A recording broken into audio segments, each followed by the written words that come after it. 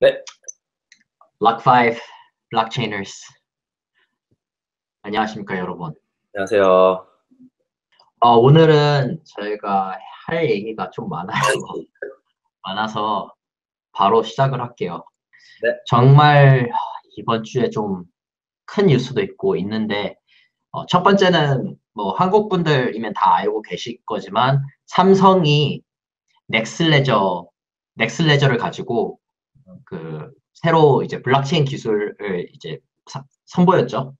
그래서 뭐 알고 계시는 분도 알고 계시겠지만 금융 서비스를 위한 스마트 계약서 음, 그거고 이게 그리고 뭐 로열티 로열티 포인트 프로그램 그러니까 고객 포인트 프로그램을 위해서 쓰는 블록체인 기술이고 그리고 가장 중요한 거는 금융 기, 금융 서비스를 사용할 때 삼성이 여기서 인증하기 위해서 여기서는 이제 그 뭐 눈 눈이나 아니면 지문 통해서 인증하는 거 음, 음. 어 그게 그게 뉴스였고 그러니까 잠깐 삼성이 그러니까 블록체인을 만들었다는 거야? 블록체인 기술 쓴 거야 하이퍼레저 같은 거야 아 진짜? 컨소시엄 아니면은 어떤 거야? 삼성이 그냥 자기가 알아서 만든 거야? 어 자기들이 알아서 private 블록체인 아 진짜? yes sir 블록체인이면 당사자가 필요하잖아 상대방이. 그러니까 공유해야 되잖아 그거를. permission 블록체인 어. 자기 근데 안에서 자기 회사 안에서 그 permission 노드들 다 설정하고 하는 거지. 안에서만 어, 리플 같이 리플 비슷하다고 생각해 하나? 아니지 리플은 이제 다른 은행들이랑 하는 거고 얘네는 삼성 내에서 어, 삼성 내에서 클라우드 컴퓨팅을 써가지고 어. 이제 삼성 삼성 제품들을 위한 블록체인인 것 같아. 음 뭔가 잘 안 될 것 같은 기운이 스물스물 느껴지는데 약간 아니. 삼성에서 iOS 만들면 엄청 안 되잖아 소프트가 진짜 약하단 말이야 삼성은 근데 우리 우리 주변의 지인들 중에 삼성에서 일하고 있는 사람들이 꽤 있는데. 아 근데 솔직히 아니, 정 객관적인 건 객관적으로 말해야지 엄청 욕 많이 먹잖아 OS는 그러니까 소프트웨어 파워가 나는 잘 모르겠는데. 야 어쨌든 인터스팅한 것 같습니다 두 번째 뉴스. 두 번째는 어 스웨덴이 정식 공식적으로 이제 부동산 등기를 블록체인 위에다 올려놓기 시작했거든. 아 진짜 어 근데 이게 공교롭게도 OECD국의 그 신뢰 신뢰 측정 측정 도 측정 지수가 공교롭게 같이 발표가 됐어. 어. 근데 저- 그 OECD 신뢰 지수가 지금은 전반적으로 떨어지고 있는 추세래. 평균이 40%, 국가 국민이 40%만 정부를 신뢰한다고 나오고 스웨덴은 이 중에서 높은 측에 속하는데 이게 56%래. 아 높은 게 어, 높은 게 56%고. 그래서 여기서도 이제 부동산 등기를 등록하는 그 기- 정부 기관들도 기관들의 의견이 약간 두 가지로 나뉘는데 첫 번째는 이 플랫폼을 완전히 받아들이려고 하는 기관들이 있지만 이런 기관들은 극소수고 대부분은 그냥 이 기술, 과학 기술을 한번 해보는 거, 시도해보는 거 어, 그런 입장을 취하고 있대. 이게 음, 말해. 어. 아직은 왜냐면 완벽하게 증명된 게 없으니까 비트코인도 역사가 짧잖아 그러니까 맞지, 맞지. 대대적으로 쓰기엔 솔직히 아직은 문제가 있지 좀 더 검증이 필요하지 솔직히 비트코인도 문제 많잖아 그러니까 근데 이게 이- 그 OECD국의 신뢰 그게 신뢰 지수가 문제가 있는 게 뭐냐면 이게 우리가 약간 패러독스 패러독스 비슷한 게 예를 들어서 내가 정부를 안 믿고 있는데 어. 정부에서 부동산 등기를 블록체인에 등록시키라고 추천을 하잖아. 아 예 맞아 그럼 왜 정부를 믿어? 어, 맞아 계속 이렇게 그러니까 믿어서 일단 해보면 좋은 건 맞는데 어. 정부 자체를 믿지 않아서 정부가 블록체인을 추진하려고 하면 사람들이 안 하려고 한다는 거지. 네. 그러니까 한 가지 말씀드리고 싶은 거는 일단은 블록체인이란 데이터베이스에다 올려놓으면은 괜찮아요. 그 안에서는 이제는 어, 어, 코드를 통해서 돌아가는데 정부가 현재 있던 시스템에서 여기로 이제는 이동시키는 과정에서 이제 잡음이 많을 수 있는 거지. 약간 등록하는 거에서 매칭을 시켜주는 거에서 그거 자체가 엄청 힘든 일- 작업이고 솔직히 그게 내가 봤을 땐 좀 많이 그런 것 같아. 음 맞아. 그리고 우리나라 같은 데는 아마 잘 될 거야. 우리나라는 등기 시스템, 우리나라가 내가 알기로는 등기 시스템이 가장 좋은 나라 중 하나거든. 정말 효율적으로 돼 있고. 그래서 음. 그거를 그리고 사람들이 정부가 한다 그러면 믿기는 해. 예를 들면 등기 같은 거는 믿어. 그러니까 그런 거는 내가 봤을 때 딴 나라보다는 훨씬 더 괜찮을 텐데. 어, 이게 힘든 게 우리나라는 그래서 괜찮다고 하자. 하지만 부동산 등- 부동산 등기를 블록체인 상에 올려놓으면 가장 큰 이득을 볼 나라들은 예를 들자면 아프리카 나라들, 음, 아프리카 개발 도상국인데 그 나라들은 신뢰 지수가 최악이야.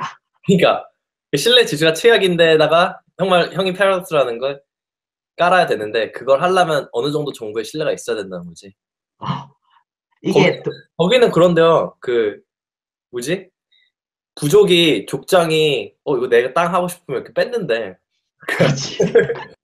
서류 조작해가지고 거기는 그, 그 문제도 있다잖아. 뭐지? 그 부족, 부족의 문제가 아니라 더블 스탠드도 장난 아니라면서 이중지불. 부동산을 놓고 이중지불이 된다는데.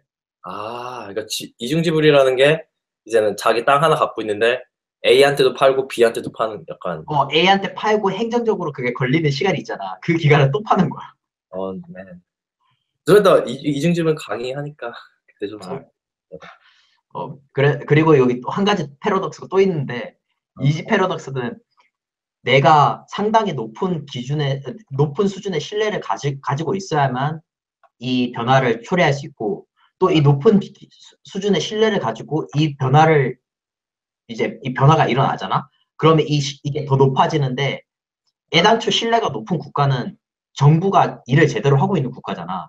근데 그 시, 그 국가가 이거, 이 시스템을 도입을 한다고 했을 때, 정부가 필요 없게 돼. 음, 무슨 말이냐. 스스로 자살 행위? 아, 그렇지, 그렇지, 그렇지.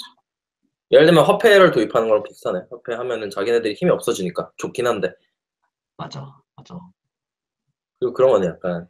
뭔가 요즘 그거 있잖아. 일하려면 경험이 필요하고, 그런 거 있잖아.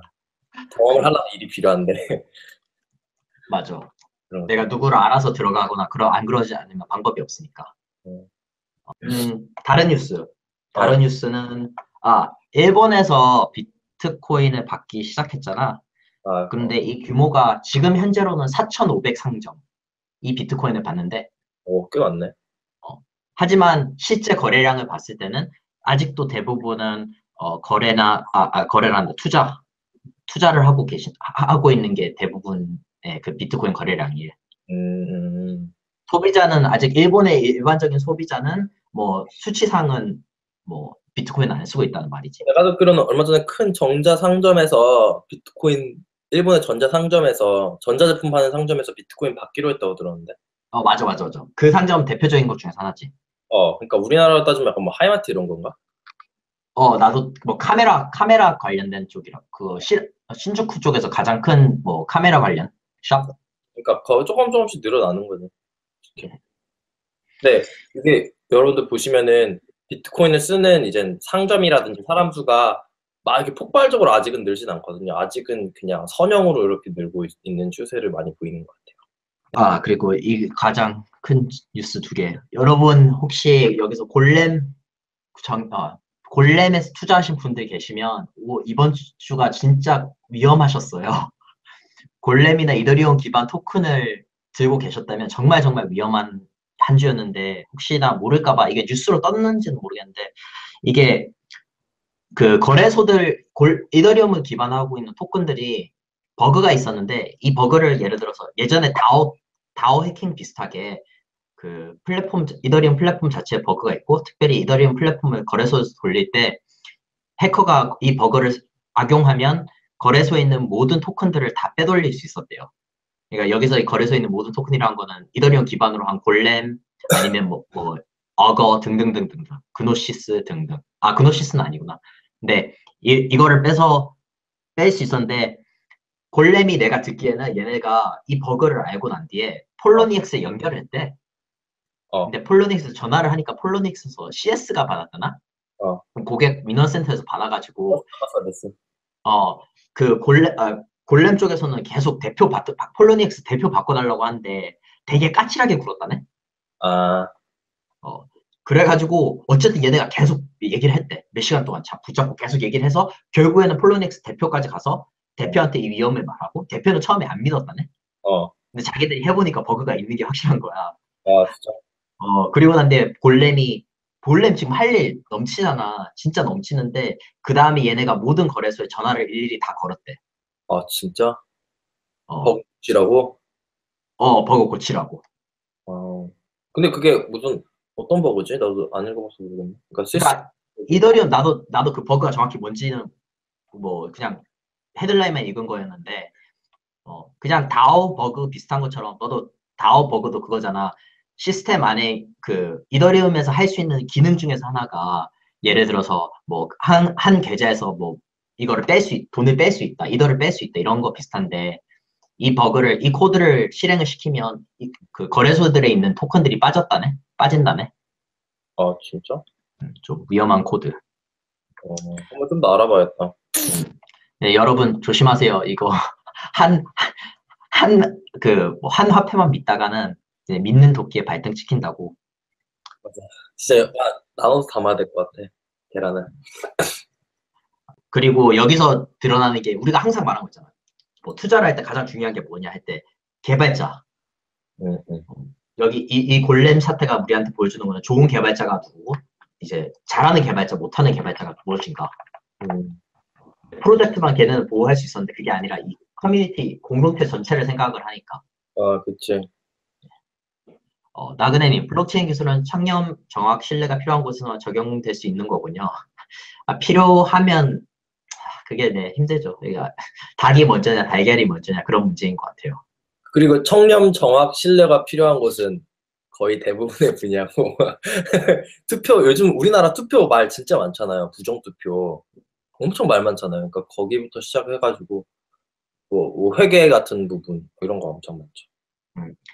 나그네님, 비, 비트코인 송금 거래 지연이 오래 걸리기는 걸리는데 즉각적인 거래 사용할 수 있어요. 어, 지금 한 1 시간 정도 걸리는 걸로 알고 있는데 1 시간 정도는 있어야지 좀 안전하다고 얘기를 해요. 안전 그러니까 1 시간이면은 10 분에 블록 하나가 생성이 되기 때문에 어, 1 시간 정도 기다리면 한 6 개 정도 블록이 쌓이거든요. 어, 그래서 이제 1 시간인데 지금은 이제 블록 사이즈 때문에 어, 좀 지연이 많이 되는 측면이 있는 것 같아요. 그래서 좀 안, 그 사용성이 나빠지고 있죠. 솔직히 말씀드리면. 그걸 이제 해결하려고 그러는 거고, 사람들이. 음. 네, 토큰이 도, 조여, 조태영님이 토큰이 뭔지 물어봐도 되죠. 너 나중에 토큰이 뭔지 설명할 거야? 어, 조금 이따 토큰, 어, 토큰 어떻게 얘기해야지? 토큰을 좀 이따 설명을 드릴게요. 화폐라고 보시, 뭐, 일단 어떤 사용 단위라고 보시면 될 것 같아요. 그러니까 비트코인은 비트코인 단위가 있잖아요. 그러니까 이더리움엔 이더라는 단위가 있고. 네, 그래서 일단은 그 하나의 동전? 뭐 이런 식으로 생각해 주시면 돼요. 좀 이따 좀 더 자세하게 설명드릴게요. 그리고, 그리고 최종적인 뉴스는 ASIC Boost. 아, basic. 아, 이- 나는 이 뉴스, 그, 너도 약간 그랬겠지만 이 뉴스를 듣고 비트코인 가격이 왜 요동을 치지 않았나 되게 궁금하지 않았어. 요동칠 만한 뉴스. 적인 건 사람들이 그렇게까지 많이 안 그런 것 같아. 음, 아니, 그래서 아직 잘 몰라서 그럴 수도 있어. 그러니까 이게 퍼지는 게 기술적인 부분 딱 퍼지면 이게 설명하는 걸 좀 나오면은 약간 쭉 뭔가 사람들한테 설명이 돼야지 이제 사람들이 패닉하고 나가잖아. 음, 그러니까 그것도 괜찮은 전략 중 하나였네 생각해보니까 기술적인 게 문제가 생기면 안 좋은 게 있으면 빨리 팔아버렸다가 사람들이 안다 다 알았을 때 다시 사고 약간 뭐 하긴 그건 그래요. 빨리 그 정보를 insider inside information inside 정보 들고 아, 듣고 있는 사람들이 가장 많이 이제 빨리빨리 행동을 하니까. 음, 음. 아식 부스트에 대해서는 저희가 영훈이 강좌하고 그 다음에 좀 오랫동안 오랜 오랜 시간 동안 토론을 할 텐데 어, 혹시나 모르셨다면 올해 비트코인 뉴스 중에서 가장 큰 뉴스가 며칠? 한 하루 전에?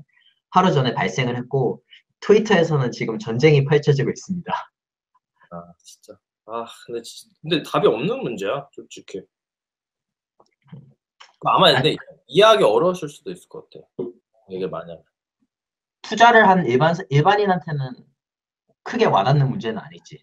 어 그치 음. 근데 이제 비트코인의 전반적인 그러니까 해킹 같은 거는 복구가 될 수 있어요 근데 에이식 부스트 같은 경우는 문제가 되는 게 이제 채굴자라든지 작업 증명에 대한 어떤 근본적인 문제가 될 수도 있거든요.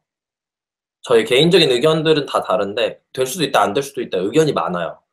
그렇기 때문에 이제 좀 더 중요한 거예요. 근본적으로는 장기적인 비트코인의 가치랑 관련되어 있는 거기 때문에